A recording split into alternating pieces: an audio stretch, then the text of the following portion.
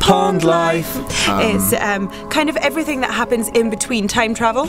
In the middle. I often wondered what happens in between with the companions, and this is the episode where we get to see a kind of couple trying to have a domestic, Life. married life.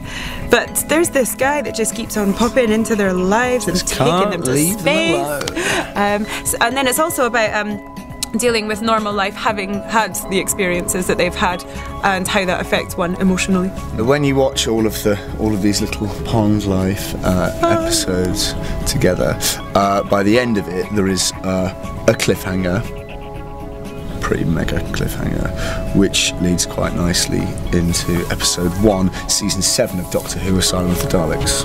Nice. He knows.